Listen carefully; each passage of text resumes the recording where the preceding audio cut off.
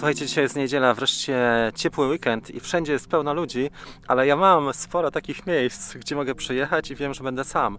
To jest jedno z tych miejsc. Eee, może Wam napiszę w komentarzu gdzie, ale nie o to chodzi. Dzisiaj zrobimy trzy loty, trzy loty różnymi dronami, żeby pokazać, jak można wykorzystać najlepiej każdego z nich. I to będzie taki fajny, myślę, przykład, takie studium przypadku, żeby każdy miał mniej więcej świadomość, do czego można wykorzystać dany model.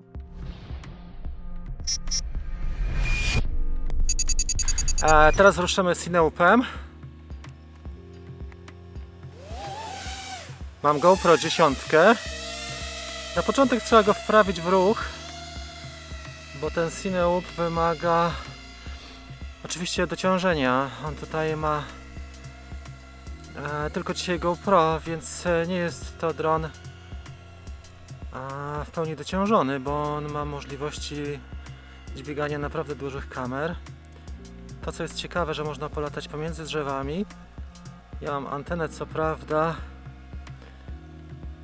ustawioną z jednej strony i może ją trochę zasłaniać a bateria. Nie jest idealnie antena ustawiona, ale nie szkodzi. Polecimy troszkę pod słońce, a za chwilę te drzewa chciałbym zrobić ze słońcem. Będzie ładnie widać od strony drogi. Mamy taką sytuację, że po tej drodze e, raz na pół godziny przejeżdża auto. Więc mogę Wam to pokazać z tej strony. Teraz jesteśmy troszkę pod słońce, ale spróbuję się skierować tak, żeby mieć też trochę widoku lepszego. Zaraz sobie zawrócimy. Czy Cineup jest dobry e, w takich przypadkach, kiedy trzeba polecieć na przykład pomiędzy drzewami, tak jak tu w ciasnych pomieszczeniach, blisko ludzi też, tak jak teraz. On jest mega pod tym względem, bo naprawdę można zbliżyć się praktycznie na dotyk, a nawet jak dotkniemy przeszkody czy obiektu, to się nic nie stanie z tego względu, że mm, ma osłony. Ciężko się gada prowadzi narrację, ale dajemy radę. Słyszę jakiś motorek. Fajnie byłoby go złapać w kamerze. Spróbuję taką pozycję zająć, żeby go zobaczyć. Mamy jeszcze jeden volt. Troszkę ognie. Jest auto. I auto byśmy mieli pod słońce. Dobra, niech będzie.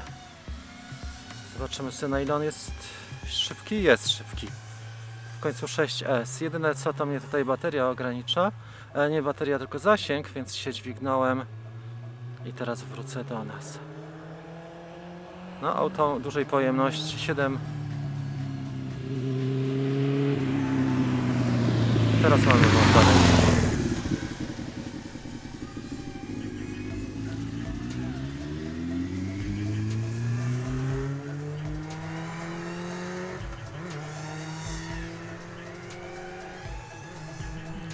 Dobra, mam motor.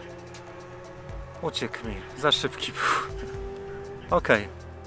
Zbliżam się już do 21 V, chociaż e, to było przy tym pociągnięciu, bo teraz mi znowu spadło do 22.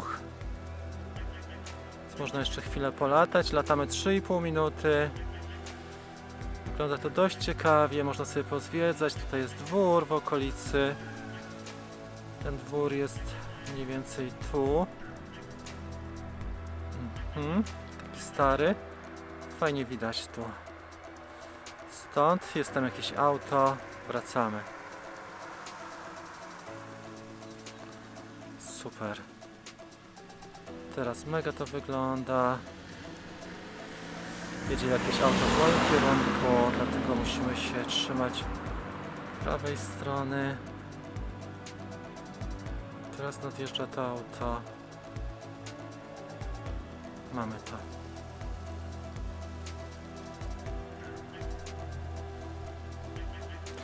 Czas lotu na tym pakiecie jest całkiem niezły. tej chwili już wynosi 4,5 minuty. Także jest całkiem, całkiem dobrze. Można by jeszcze go dociążyć, dodać mu drugi, wtedy można by latać spokojnie około 10 minut. A 10 minut to już jest niezły wynik, bardzo.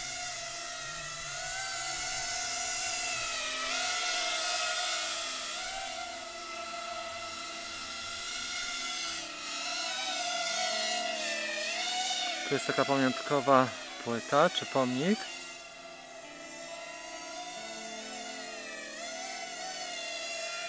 Mhm.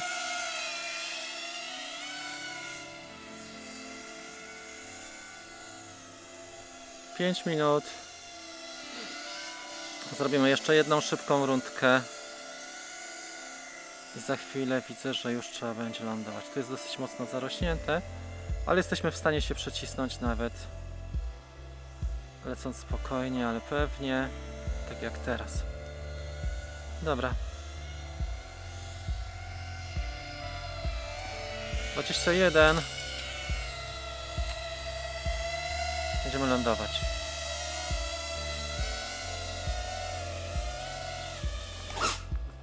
Poszło idealnie.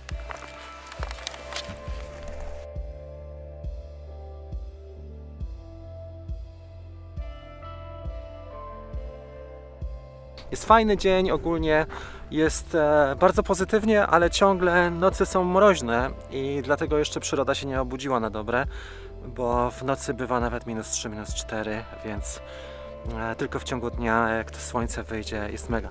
Także tutaj widać, że ten Cinewoop ma dosyć duże rezerwy, jeżeli chodzi o udźwig. Można zagospodarować je poprzez drugi taki pakiet i w tym momencie mielibyśmy 39,96 Wh, czyli prawie 80 Wh, a to już jest mega dużo energii, można naprawdę sporo polatać takim dronem. E, nawet około 10-12 minut co na Cineupa jest po prostu wynikiem dobrym. Jeżeli chodzi o cięższe ładunki, on jest w stanie do mniej więcej kilograma. Wiadomo, że 1,5 kg to jest jego graniczna wartość, ale do kilograma lata się jeszcze w miarę ok, czyli z taką lustrzanką, z takim bezlusterkowcem jak mamy tutaj, plus e, szkło jakieś ciekawsze, można sobie poradzić. Teraz zamienimy na innego, inny egzemplarz i zobaczycie jak to wygląda, jeżeli chodzi o loty zupełnie innym dronem. Let's go!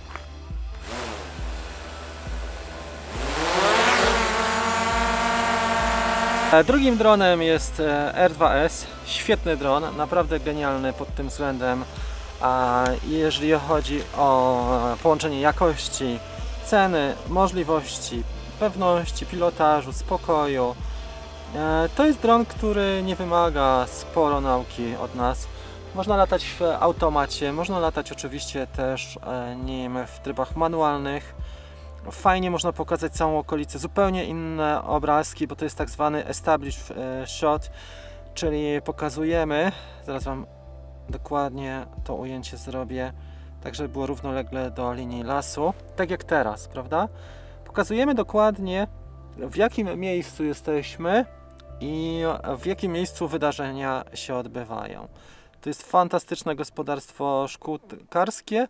O tej porze roku jest ok, bo wszędzie jest szaro i buro, ale tutaj można pokazać trochę odcieni, jeżeli chodzi o te drzewa, a młodsze ee, starsze drzewa, trochę liściastych tutaj jest.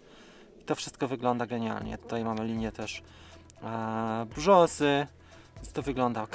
I to, co możemy sobie zrobić, jesteśmy na 45 metrach, polecimy wolno, to opuścić kamerę w dół, co nie jest takie łatwe, jeżeli chodzi o FPV, ale tutaj możemy mieć zupełnie inne ujęcia.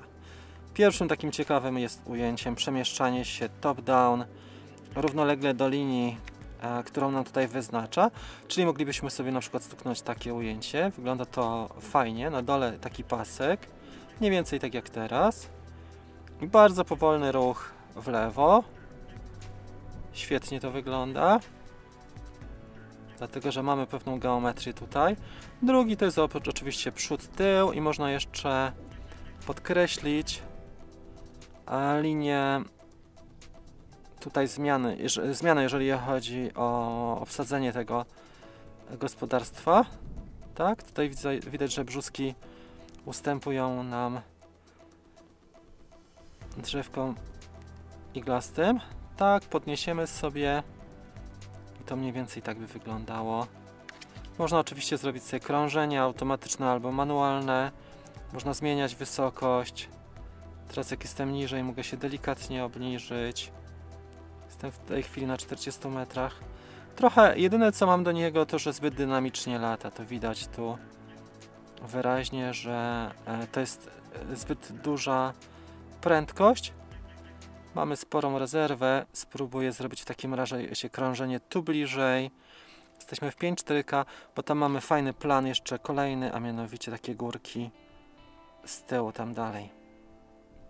Bardzo delikatnie wręcz dotykam tylko drążków. Mogę się jeszcze przybliżyć.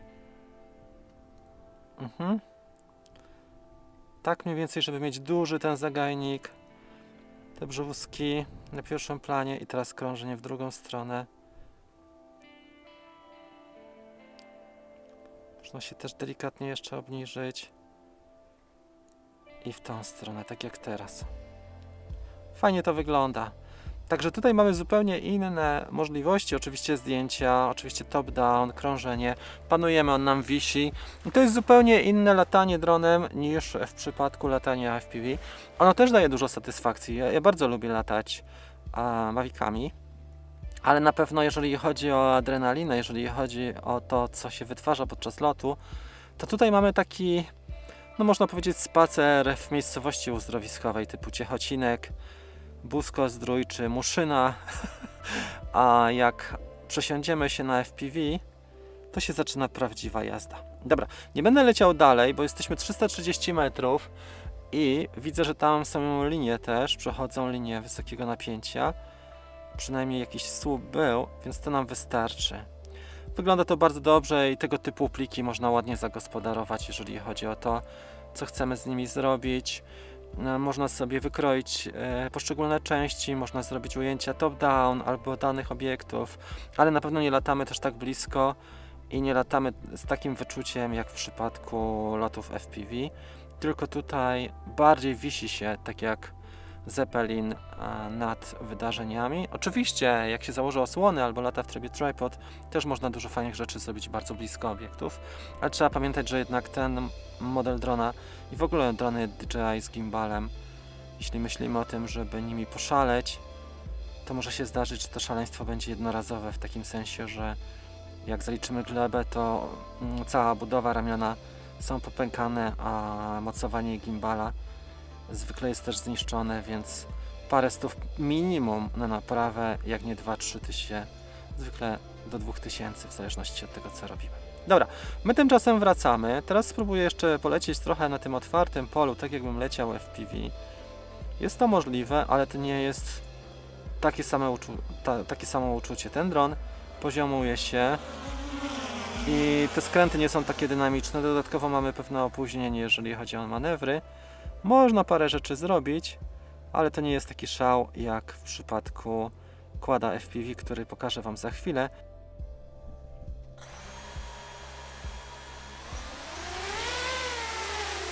E, trzeci dron dzisiaj to jest Nazgul. To jest dron już pięciocalowy FPV.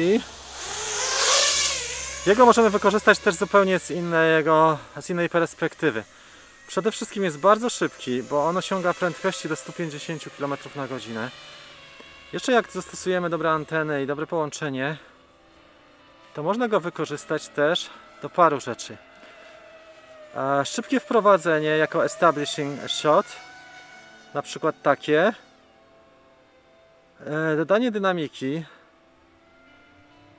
czyli możemy dzięki temu dronowi zbliżyć się do obiektów, może nie tak mocno jak z Cineupem, ale jednak latać dość blisko obiektów, a jednocześnie możemy pokazać bardzo dużo, bo można pokazać e, faktycznie rzeczy z daleka, w ciągu paru sekund zbliżyć się i pokazać coś, co jest mega blisko. I to robi niezwykłe wrażenie dlatego że jesteśmy zarówno blisko jak i daleko.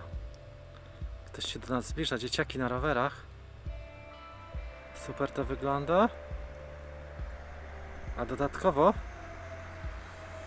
jedzie jeszcze auto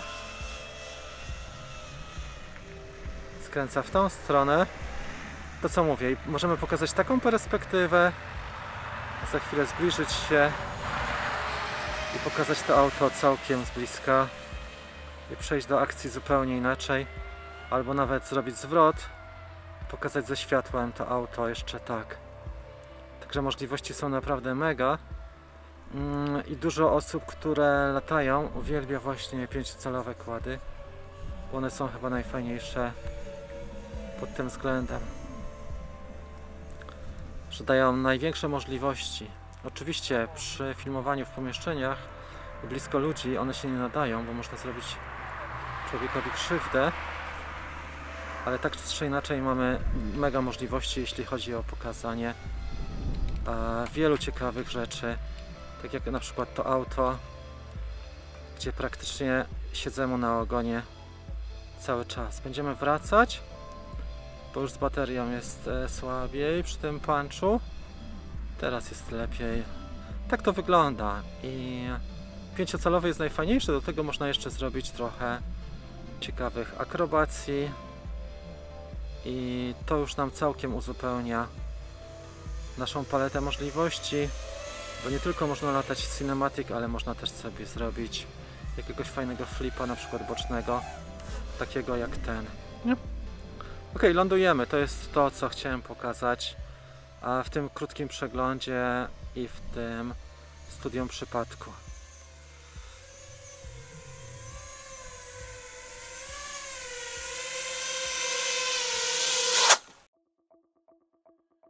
Dzięki serdeczne za obejrzenie tego odcinka do końca. W nim starałem się pokazać przegląd i różnice pomiędzy tymi podstawowymi typami dronów, czy to Cineub, czy to e, dron pięciocalowy, quad, kopter, tak, pięciocalowy, czy może Mavic z gimbalem. Każdy z nich jest inny, tak jak my jesteśmy inni i mam nadzieję, że wybierzesz dzięki temu, będzie Ci łatwiej coś dla siebie. E, jeżeli spodobał Ci się ten odcinek, zachęcam Cię do e, skorzystania z darmowego warsztatu, który nazywa się Jak rozpocząć przygodę z dronem. Jestem też autorem szeregu opracowań online dotyczących poszczególnych produktów, jak i całych aplikacji typu przykład fotografia, czy zarabianie na ujęciach dronem, czy może nowe przepisy dronowe. Zachęcam Cię bardzo serdecznie do zapoznania się z tymi opracowaniami. Pozdrawiam i widzimy się w kolejnym odcinku. Cześć!